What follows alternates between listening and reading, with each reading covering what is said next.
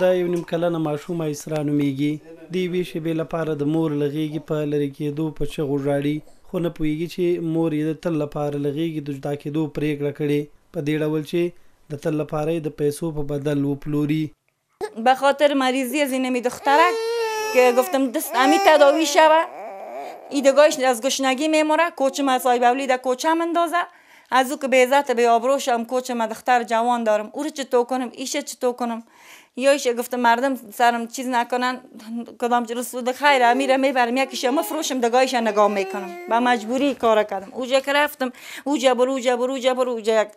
نفر پیدا شد گفت که نفر و چرا ای کار میکنی گفت مجبور هستم بیا خ.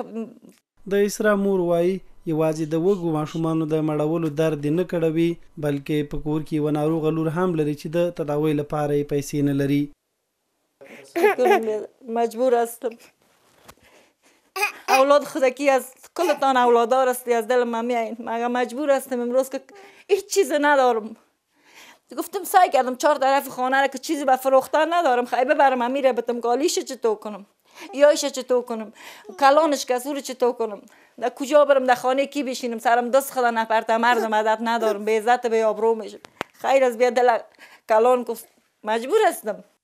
د کور ټولې خونې او حویلۍ مو د کمرې پر مخ ولیدې.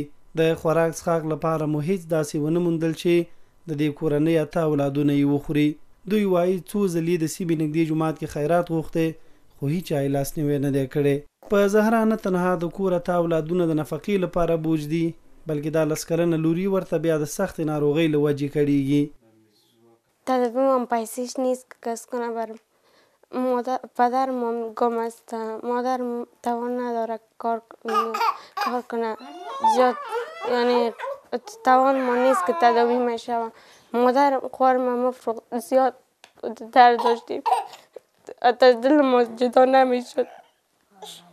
باز نمه چیزی کمک کنن که من زیال روز برای این دخترکم تداوی شود اولاد خودم نفروشم بسیار سخت است این کار بسیار به یک آدم سخت است که اولاد خدا ببره و روز خدا تیر میکنه که از خانه ببره از دل بیرون کلش گریان میکرد دا کورنۍ اصلي د کابل له دهصاب ولسوالۍ له تراکډه شوې کور یې په کرایه نیولی او له تېرو څو میاشتو راهیسې د کور کرایه هم نه ده پرې کړې.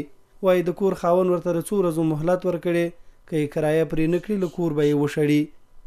په پیسو خرڅول او یا د پور خلاصولو په بدل کې د ماشوم ورکول جرم ګڼل کېږي او سرغړونکو ته یې جدي خبرداری ورکړل شوی، خو په هېواد کې ډېری کورنۍ د فقر او لوږې له امله اړ شوي چې خپل تنکي ماشومان په پیسو ورکړي.